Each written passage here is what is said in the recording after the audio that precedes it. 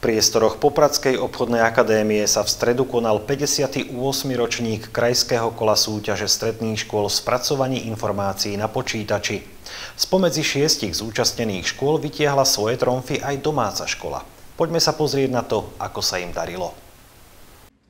Obchodná akadémia v Poprade býva v histórii súťaží stredných škôl spracovaní informácií na počítači častým organizátorom krajského kola. V stredu sa v jej priestoroch uskutočnil už 58.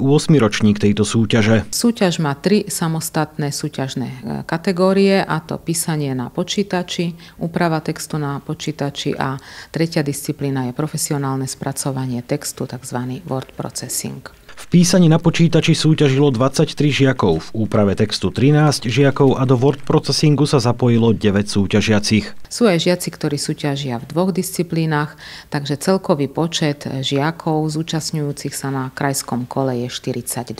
Najviac želiezok v ohni mala samozrejme Popradská obchodná akadémia. Jej žiaci, ale aj mnohí ďalší mali vysoké ambície, veď išlo o postup do celoslovenského kola.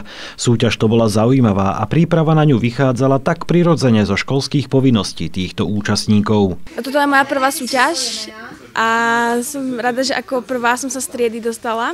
Už mám v tom takú prax, ide mi to rýchlejšie, aj keď s niektorými chybičkami, ale si myslím, že na prváčku to je dobré prvej triede na tejto škole sme sa to učili vlastne písať na klavesnici a ten prstoklad, čiže jedine, že tam sa to naučíte a potom sa už iba zrychlujete a keď ste dobrí, tak sa sa môžete dostať. Ale to začal pár ročníkom, tak začal baviť. Písať na klasici ma to zaujímalo, že ako rýchlo dokážeme písať vďaka tým prstom.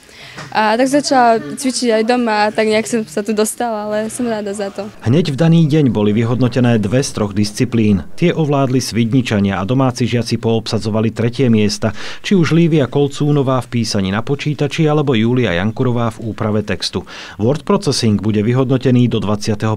februára. Žiaci s najlepšími výkonmi postúpia na celoslovenské kolo, ktoré bude 25. až 27. marca v Prievidzi.